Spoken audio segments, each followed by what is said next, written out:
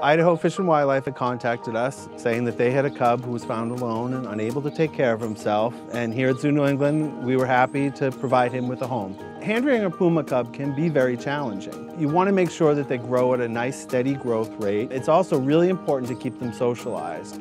And that's, you know, since we didn't have another puma cub for him to interact with, it meant that he had to interact with the staff. So in early December, Blue was transferred here to Stone Zoo once he was weaned off his bottles at the zoo hospital and he went into the Windows to the Wild exhibit. Guests were able to see him there as he was just a very small kitten and growing up, uh, it took a long time for him to even learn how to climb up on the benches that were in there. In mid-March, Blue was permanently transferred from his nursery in Windows to the Wild to his permanent exhibit here in Treasures of Sierra Madre. He plays with everything. Every leaf that blows into the exhibit, he's out there playing with it.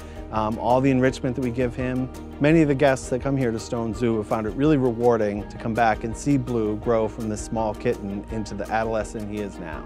It's been the most rewarding just seeing him grow from a kitten who needed a lot of attention from us to now being a little bit more independent uh, and acting more like uh, a cat would in the wild.